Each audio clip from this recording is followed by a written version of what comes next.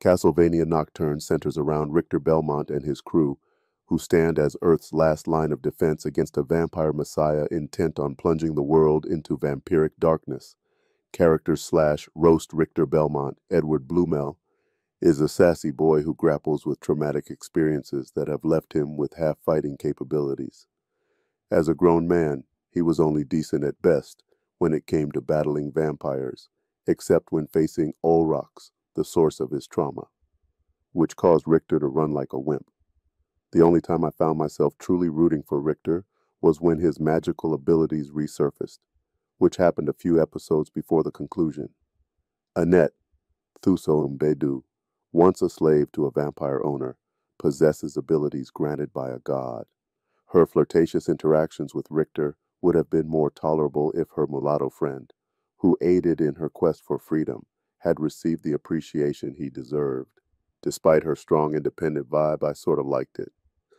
Also, it's worth noting that this version of Annette represents a racial swap from her original counterpart. As someone who hasn't played the games, my personal connection to the character representation remains unaffected. Edouard Sydney James Harcourt is an opera singer and a rebel fighter. After discovering the last Belmont, he met a tragic end, being transformed into a night creature, still retaining an attractive appearance as an undead. In life, he proved ineffective in combat, and in death, he continued singing to inspire other night creatures who remembered their past lives. While this might sound noble, it's difficult to overlook the fact that the only half black male character in the Castlevania series is portrayed as a light skinned opera singer with little to no vampire combat skills, which is undeniably disrespectful. Olrox, Zahn McClarnon, is the vampire responsible for taking Richter's mother's life. Before the episodes even had a chance to fully reveal his character, my intuition led me to suspect that he might be the type to manipulate both sides, a suspicion that proved accurate. Olrox is portrayed as a vampire who indulges in both his blood-sucking nature and romantic encounters with humans. In this series, his love interest is Mizrak, a Middle Eastern Dean Winchester look-alike. While I could debate at length about the plausibility of this pairing, I've come to expect such liberties in Netflix productions over the years, leaving me with a sense of disappointment. Erzsébet Bathory, Franka Potente, is a Hungarian vampire rumored to be on the path to becoming a messiah and driving the world into darkness. It remains unclear why she was absent when Dracula pursued a similar goal in Castlevania Season 1. It's possible that the timeline of her involvement occurs after Dracula's reign, but her possession of godlike abilities raises questions about her transformation into a vampire.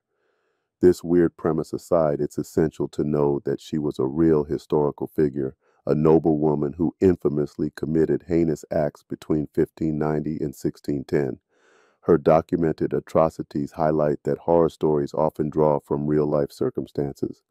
Thoughts Castlevania has taken us on quite a journey from battling Dracula, his son, and even death itself. Now, it's the Belmont lineage's turn to confront a vampire messiah. The narrative's complexity is reaching almost JoJo's bizarre adventure levels of absurdity. While I wish I could say it's at least half as good, the truth is it falls short.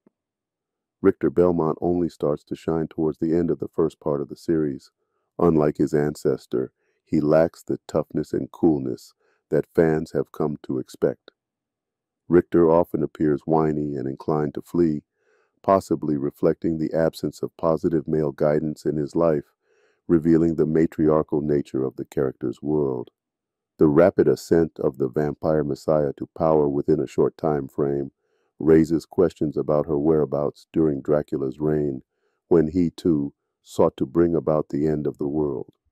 Putting aside the narrative and its unrealistic historical elements, I found myself less concerned about the race swaps and more annoyed by the prevalent same sex relationships conforming to a trend in Netflix productions. Nevertheless, the series' well animated fight sequences are undeniably a standout feature.